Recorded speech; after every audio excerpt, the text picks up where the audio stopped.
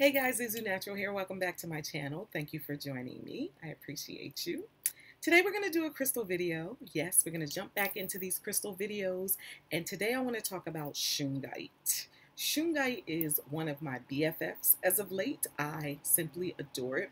It's called a crystal, but it doesn't have a true crystalline structure, so it's not actually a crystal, but for all intents and purposes, we're going to call it a crystal. But um, I love shungite. Shungite is great for detoxification. You can use it and put the elite shungite in your water to purify and detox your water. It helps detox your system. It's wonderful. One of my favorites for EMF protection, electromagnetic frequency protection. So cell phones and towers and 3G and 4G and 5G, all of that. It's really wonderful for that. So I wear my shungite all the time or most of the time I'm wearing my shungite. I simply adore it. So if you are using shungite for these properties that it has, you want to make sure that you have real shungite, right? Because if you don't, then it's not doing what you think it's doing. So today we're going to put the shungite to the test and I'm going to show you how to test your shungite to ensure you have genuine shungite. If you want to see that, stay tuned because we're going to do this.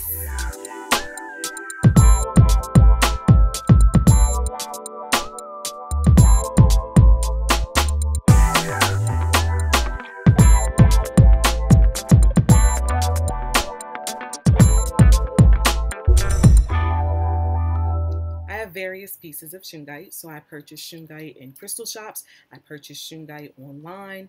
And all the time I test it because I want to make sure that the person that I buy it from is a reputable source. So the shungite that I have in the shop, I have uh, multiple pieces and types are all tested. They are genuine shungite. Of course, you should test it again once you get it home, but they have been tested. Uh, but today, guess what we're going to do? We're going to test this. This is a shungite sphere. It's my favorite. This is my personal piece. I do have these in the shop. Uh, I also have a Merkaba, a shungite Merkaba. I love this. We're going to test that. We're going to test this. It's like it's just a palm stone. It has a flat base so it can stand up. Uh, we have flat palm stone. I sell these in the shop. I've got a Tekhen obelisk. Love this. This is one of my favorite pieces. We've got just a tumble, shungite tumble. We've got a shungite Buddha. We've got, what else do we have? What else do we have? Shungite bracelets. And then we've got shungite necklaces. So that's a point, double terminated point, in a kind of faceted teardrop kind of situation. So that's what we're going to be testing today. So you're probably wondering, what do we need to test our shungite? You haven't told me. The way I test shungite is very, very simple.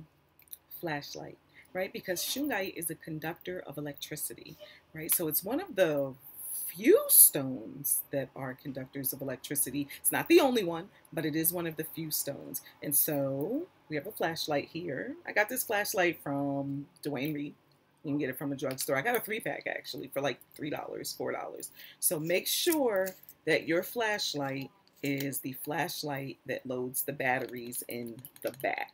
That is important because we are going to be conducting electricity with our shungite through that space. So if I press this with my finger, look, nothing. Nothing happens. I've got fresh batteries in there. Nothing's happening. Nothing's happening, right? So we're just going to put this back on just because I want you to see that. Just want you to see. So if we press that, right, there we go. Turn it off. So the batteries work. Everything's on. Let's start. What should we start with? What do you guys want to start with? Jewelry? Let's start with jewelry. So, no, no. Let's start with let's start with this. Because because we have this small little opening here I can only test certain pieces with this. I'd have to have a bigger flashlight if I wanted to do bigger pieces. So we're going to start with my favorite. This is a uh, Tekhen or an obelisk and this is shungite.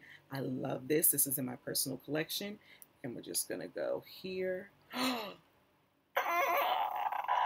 Did you see that? I don't know why that excites me every time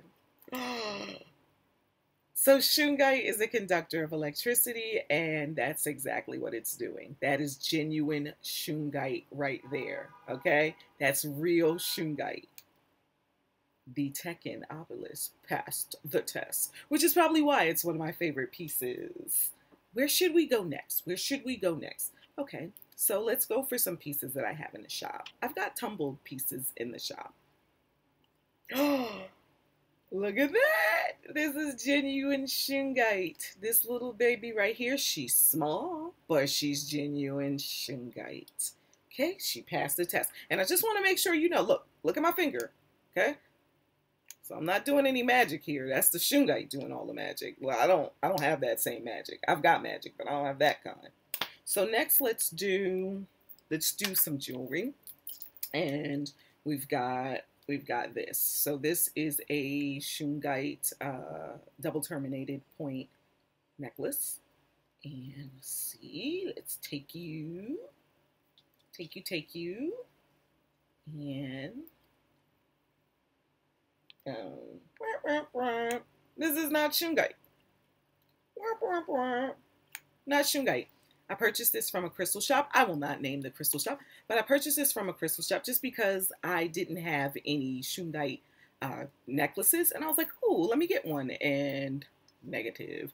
I don't know what it is. And it might have some beautiful properties, but what it is not is shungite. I also got this one because I wanted to have a selection. I thought, oh, these would be nice to have in the shop. Let me just test them out. And let's see, is this one shungite? This one is shungite. So I got them from the same shop. And you know what? I can't even be, mad at the shop because if you don't know, you don't know, right? And if you buy, I always buy my crystals from reputable sources.